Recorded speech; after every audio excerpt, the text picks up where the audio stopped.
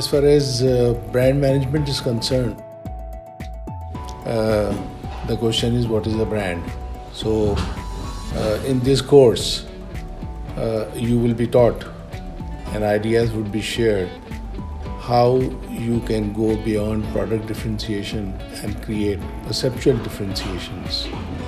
So, when you are selling two brands, what will be the point of parity and what will be the point of differences? That is the challenge.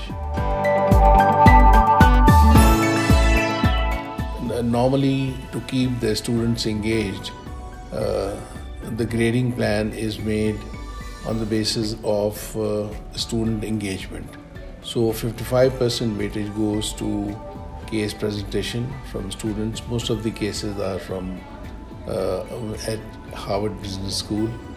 And uh, then the current, very current books on marketing and branding, uh, groups have to take up their essence and present them and these two are of 55% weightage.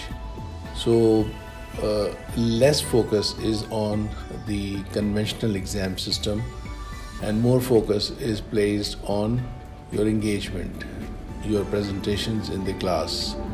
What do you talk about? Uh, I have found that learning is optimal in such a situation.